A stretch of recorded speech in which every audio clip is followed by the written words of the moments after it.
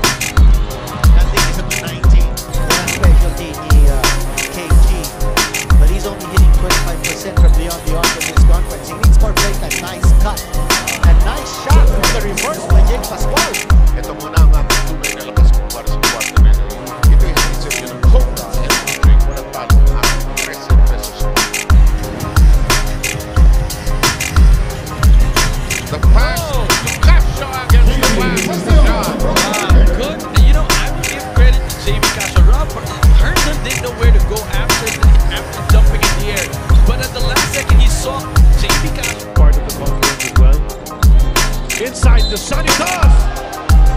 Laman Sunny, showing us some absolutely. Yun, at lahat ko nagtalunan yung mga nasa kayo sa bench. And the crowd actually reacted by, uy, Sunny Cars ba yan? Hindi na makakascore. Sigurado na tayo dyan. Oh. Doon sa average na ginagawa ng TNT. Sa And Simon and Tiso dire-diretso sa basket. Is Gagan Sky. He laid that ball right in. Last convert. Tuwan-tuwa sa play